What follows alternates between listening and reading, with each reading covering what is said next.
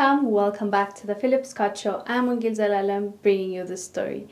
Today's story is about a post I saw on Instagram. This lady was on a blind date and she took 23 of her family members to that blind date.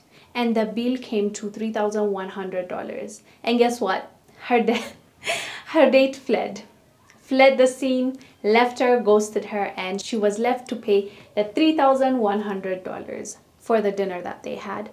I, fam, sometimes it's so hard for me to imagine that there are people out here living with us, human beings, that think like this. Like, if you're on a blind date, how.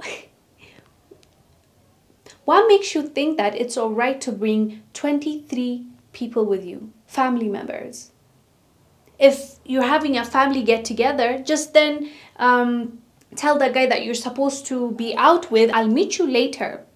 Or we'll meet earlier, or you'll meet up tomorrow, another day. Why in the world would you have a blind date and on that date you bring 23 other people and eat food and the bill comes to 3100 and you don't even have the money so that means you are assuming that he will pay for it so when he realizes how crazy you are and your family members for doing this, he ghosts you and you don't even have the money. Like all 23 people came together. You can't contribute 100 each, 200 each to pay for this amount. How, like, what were you thinking? I just, it's so hard for me to envision these people that think that this is okay.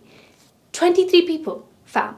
I, I hear of girls like I, I hear men complain that sometimes on a date uh, their girls will bring three four friends and they'll eat something and they expect him to pay for that whole meal. And i get it by the way i totally understand men when they are pissed when people do this. If it's something that's planned okay. If it's something that you go out together and you share okay. If it's understood that the person will pay like after you told them i don't have money okay. But for you to have to be on a blind date it's not even your second date. You don't even know the guy.